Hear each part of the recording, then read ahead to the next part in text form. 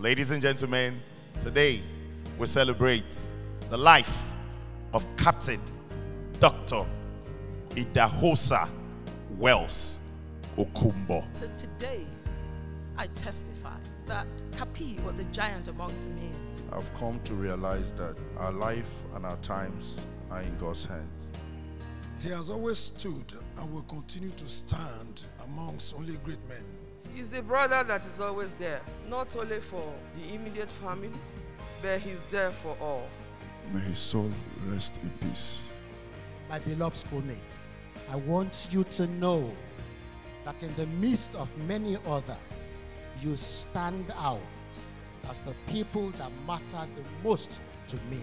So I know he's well with Wells, Idahosa Okunbo. Thank you.